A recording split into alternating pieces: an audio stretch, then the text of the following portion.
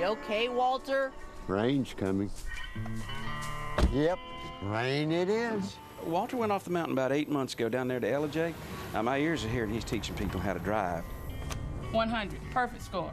All the students passed. Heard he's the best instructor east of the Mississippi. For 15 years, I failed that test. Then I meet Walter. Gave my independence. Word is, ain't nobody failed yet. Nobody can explain Walter's success. Nobody. Set her down. She'll do the rest. Walter's my boy gonna pass that test. He can use my car.